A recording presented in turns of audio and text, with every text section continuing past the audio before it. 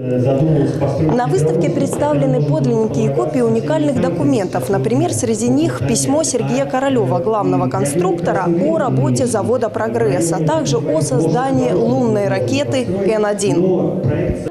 Сверхтяжелая ракета должна была использоваться для советских экспедиций на Луну. Долгое время лунная программа была засекречена. Ее раскрыли лишь в 80-х годах прошлого века. На выставке от ветряных мельниц до космических кораблей представлены документы, которые отражают промышленное развитие губернии, начиная со второй половины 19 и практически до конца 20 века. В экспозицию вошли документы и фотографии из трех архивов – Самарского областного государственного архива социально-политической истории, Центрального государственного архива Самарской области и Российского государственного архива в Самаре. Организаторы готовились к выставке более полугода подготовка плана, сбор материалов со всех архивов, э, их э, систематизация и финальный этап уже вот э, выставка создавалась, собственно говоря, в макетированном виде. Показать вообще весь масштаб, то есть от небольших мельниц, от небольших предприятий самарских купцов до революции, до промышленных гигантов, известных, которые были известны на весь Советский Союз, поставляли свою продукцию, в том числе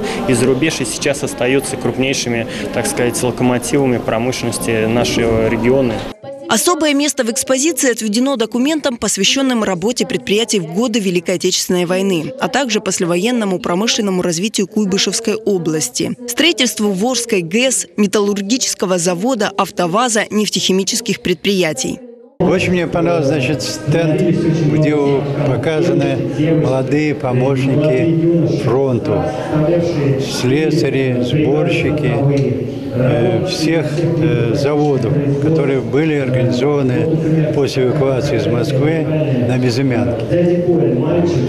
И очень здорово показано их труд, который четко определил победу Ознакомиться с уникальными архивными документами может любой желающий. Выставка будет работать до начала марта. Елена Малютина, Максим Гусев. События.